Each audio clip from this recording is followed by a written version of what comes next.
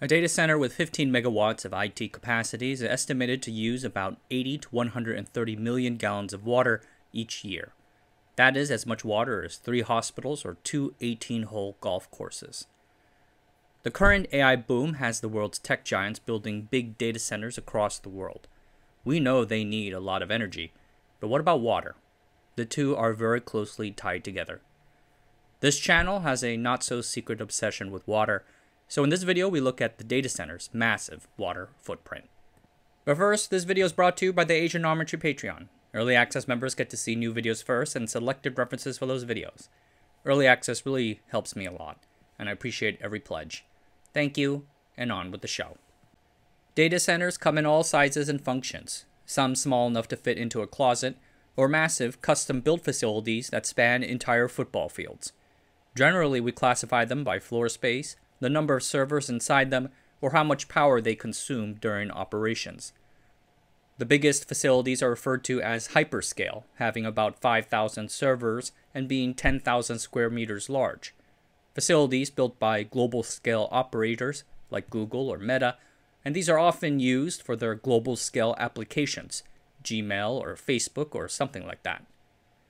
But data centers can also be leased out to customers, for security, latency, and reliability reasons, cloud providers need to build these cloud data centers in a range of zones. These hyperscale facilities are so large because of energy efficiency, scaling, and economics. We measure a data center's energy efficiency through power usage effectiveness, or PUE. PUE is calculated by dividing the total energy delivered by the total energy going into the ICT equipment. So the most efficient possible efficiency rating would be 1, meaning that 100% of the energy going in is used on ICT. The larger a data center is, the lower their PUE tends to be. Google and Microsoft claim that their hyperscale data centers have a PUE of 1.2 or 1.1. A closet data center, on the other hand, might have 2.5 or so. This gap is almost entirely attributable to cooling. Hyperscale data centers can afford more efficient cooling systems, modeling airflows through the aisles, or even employ liquid cooling systems. So, let's talk cooling.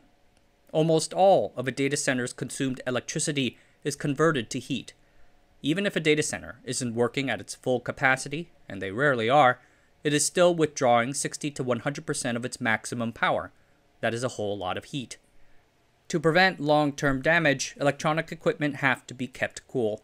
Hard disk drives need to be kept at temperatures of about 45 degrees Celsius or 113 degrees Fahrenheit.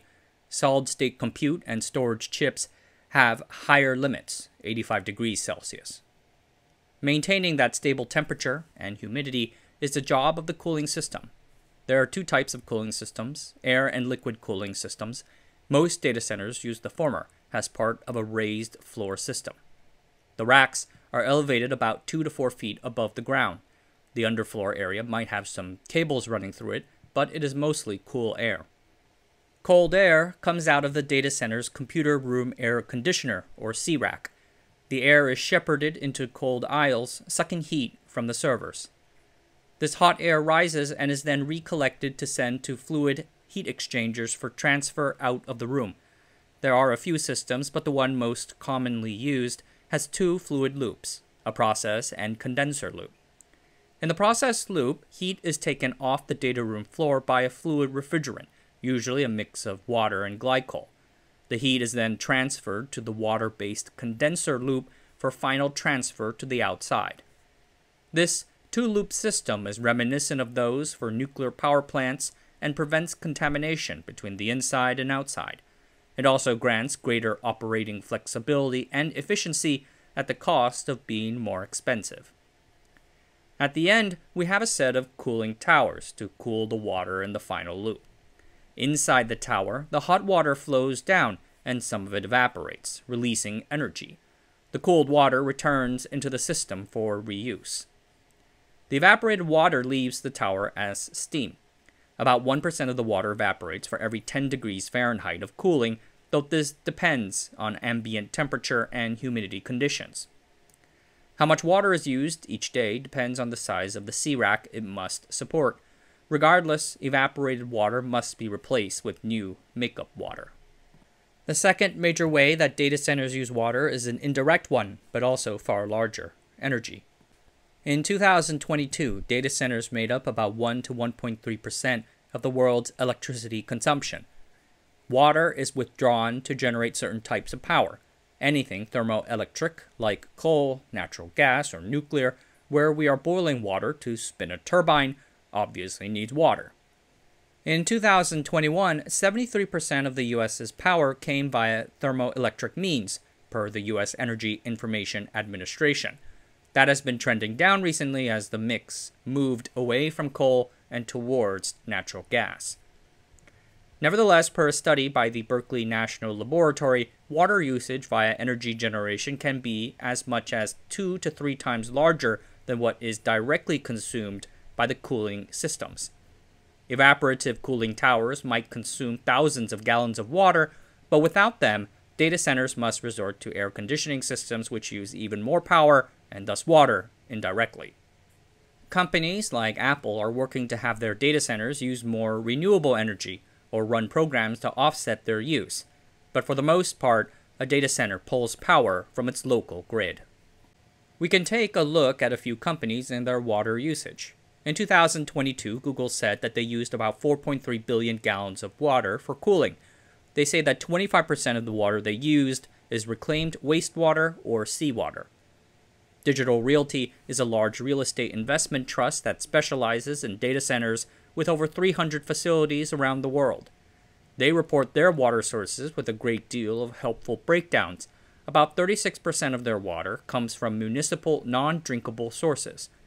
They also report that roughly half of their 2022 water consumption were in areas experiencing some form of water strain. I laud them for reporting that stat. AWS does not mention how much of the water they use comes from potable sources, but their 2022 sustainability report does say that 20 of their global data centers use recycled water for cooling. 16 of those data centers are in Virginia, 2 in California, and 2 in Singapore. Microsoft's 2022 sustainability report discusses their commitments to getting to water positive, which includes sponsoring projects that replenish more water than they consume reaching a million people with water access, which is always good. Of course, this does mean that for Google, Digital Realty, and probably Microsoft and AWS, the majority of the water directly withdrawn and used for cooling is drinkable water from the local water supply. Some 40 to 50% of the global population lives in areas suffering water scarcity, and many data centers need to be located near large population centers which means adding a new and competing demand for water. SemiAnalysis reports that one of the leading states in the US for data center buildouts is Arizona.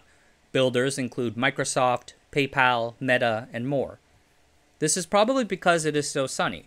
The state grew its solar capacity by 20% in 2023. Land is also relatively cheap. The government is rather business friendly, and there is relatively low risk of natural disasters like earthquakes. But the area also experiences drought like conditions from time to time and is highly dependent on the Colorado River for its water.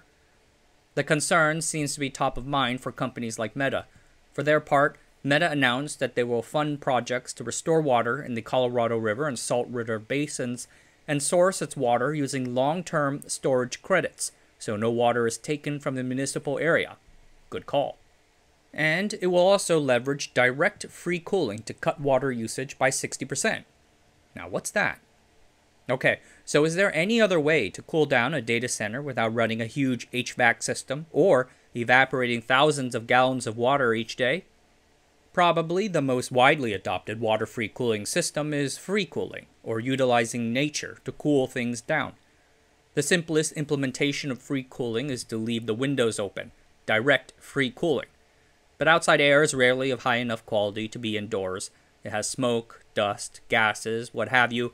It'll ruin the electronics, so we need dehumidification, air filtration, and cleaners. So, certain areas that would require the use of dehumidifiers or filters or the such will partially defray the cost benefits of direct free cooling, so total energy savings are dependent on location. But generally, free cooling works, Studies done of data centers in various locations around Europe found that direct free cooling cuts some energy consumption no matter where the center is. Average savings about 5.4 to 7.9%.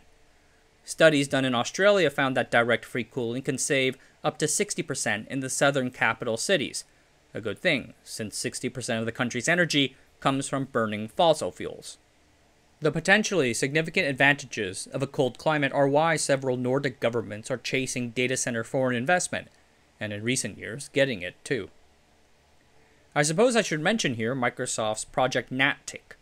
That is when Microsoft sealed a data center into some metal Tupperware and dumped it underwater for a while. It works, but I doubt many people will be comfortable with putting $30,000 H100s under the water. But there is something similar that might make a lot of sense waterside free cooling. Data centers located near cold water seas can use that water to cool their systems. Google's Hamina data center in Finland is an example. The data center is a converted paper mill factory that takes in fresh seawater from the ocean using the paper mill's existing pipes. Thanks to the two loop cooling system, the seawater does not mix with the fluid used to directly cool the data center, and after cooling the process loop fluid, it's then mixed with seawater again for cooling down before being sent back out into the sea. Another idea would be to recover the heat and reuse it for something else heat recapture. Recapture heat can be used in many ways desalinating water, preheating water in thermoelectric plants, direct power generation, or we can simply pipe it to people's homes for general heating or to produce our hot water. This is certainly possible. Captured heat from air cooled data centers comes out hot enough, about 35 to 45 degrees Celsius. And space slash water heating is the single largest end use of energy in a home, accounting for about 6% of America's total energy consumption. The issue is that we cannot efficiently move heat as far as we can move electricity. The demand sources, i.e., the households, need to be relatively close to the data center. A second issue concerns infrastructure, for instance, district heating infrastructure. Not every city will have the network of insulated pipes needed to bring heat to homes, and few are willing to pay to have it built, despite the financial benefits of doing so. Score another point for the Nordics, which has done a lot of work here. Anyway, if data centers do do heat recapture, and they probably should despite the payback issues, then they will likely also adopt liquid cooling solutions too. Liquid is far better at capturing and transferring heat than air is, and that cuts down on overall energy consumption and also improves processor performance to boot. There are a number of ways to do it, but it could involve directly bringing cold liquid to the chips. I'm sure there's some Linus Tech Tips video about such a setup. Finally, there is a point to be made that we do not have to cool the data center down all that much.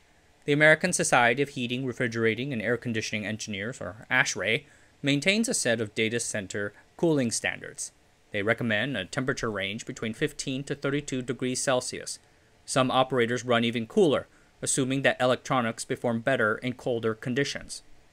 Raising a data center's overall temperature by even 1 to 2 degrees has significant financial benefits, so it is worth testing the boundaries. Yet, there is not a lot of information on this, and what has been observed seems to be rather contradictory. Google has run a few tests showing that their data centers are operable at even higher temperatures, yet at the same time, there are some Google tests which seem to show that hard drives perform worse at cooler temperatures. So who knows? One thing is for sure the ongoing AI boom will have these massive data centers ramping up faster and using more energy. Microsoft's 2022 sustainability report mentions that their 2022 water consumption leapt 34% from 2021, Considering there was only a 13% increase from 2020 to 2021, it appears that this jump is due to ChatGPT and other generative AI products. Bob Blue, love this name, CEO of the utility Dominion Energy, serves the Northern Virginia data center cluster and said in an earnings call For some context, historically, a single data center typically had a demand of 30 megawatts or greater. However, we're now receiving individual requests for demand of 60 megawatts to 90 megawatts or greater, and it hasn't stopped there. We get regular requests to support larger data center campuses that include multiple buildings and require total capacity ranging from 300 megawatts to as many as several gigawatts. Gigawatts? Gigawatts? Gigawatts. SemiAnalysis did an excellent job analyzing this massive coming demand. They believe that AI will propel data center share to 4.5% of global energy generation by 2030. Water and power consumption are correlated, so just imagine water consumption growing that much too. NVIDIA's coming GPU products like the B100 and beyond are getting even more power hungry. Training a leading edge model will run these GPUs to the max, which means more power and water consumption. At the same time, deploying them will require immense scale, which again means more power and water consumption. So, no matter how you slice it, it seems like the future of compute and AI will require far more electricity and water. First, at the semiconductor fabrication stage, here in Taiwan, TSMC alone is responsible for 6% of all the energy that Taiwan will consume.